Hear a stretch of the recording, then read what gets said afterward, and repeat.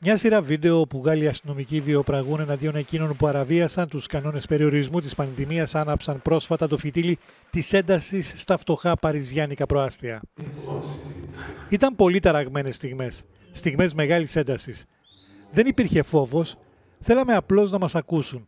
Είναι λυπηρό να το λέμε, αλλά θέλαμε να πονέσουμε τους αστυνομικούς ώστε να νιώσουν αυτό που εμείς νιώσαμε όταν έβλαψαν τους φίλους μας.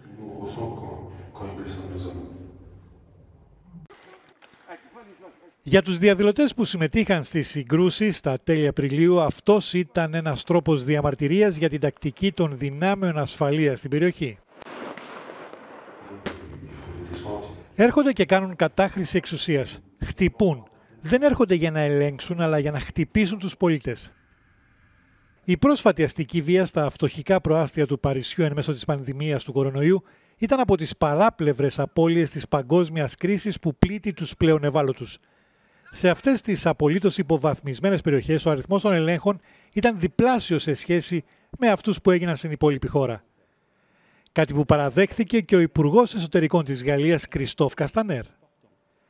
Σε περιοχές όπου η ανεργία υπερβαίνει το διπλάσιο του εθνικού μέσου όρου, οι εγκληματικές πράξεις είναι το μεγαλύτερο πρόβλημα της κοινωνίας. Αλλά αυτός δεν φαίνεται ότι είναι ο βασικός λόγος για τον οποίο η αστυνομία εστίασε την προσοχή της στα φτωχικά παριζιάνικα προάστια, σύμφωνα με τη Διεθνή Αμνηστία. Υπάρχουν πολλές υποθέσεις, ακόμη και κατά το παρελθόν, όπου η γαλλική αστυνομία έκανε κατάχρηση βίας. Η Γαλλία καταδικάζεται τακτικά από το Ευρωπαϊκό Δικαστήριο Ανθρωπίνων Δικαιωμάτων για αυτό το θέμα. Και αυτό είναι ιδιαίτερα προβληματικό σε ένα πλαίσιο πανδημίας, όπου το ζήτημα της εμπιστοσύνης ανάμεσα στον τοπικό πληθυσμό και τις αρχές ίσως να είναι το κλειδί για την επίλυση του θέματος. Υπάρχει όμως αναλλακτική λύση πέραν της βίας. Το Euronews έθεσε το εύλογο ερώτημα σε έναν νεαρό διαδηλωτή. Έχετε δοκιμάσει ποτέ; Έχετε συναντηθεί ποτέ με κάποιον αστυνομικό με τον οποίο μπορέσατε να συνομιλήσετε; Έχω κάποιον στην οικογένειά μου που εργάζεται σε αστυνομική δύναμη. Μιλάω μαζί του, αλλά δεν είναι χρήσιμο. Είναι σάπιοι, είναι όλοι κακοί.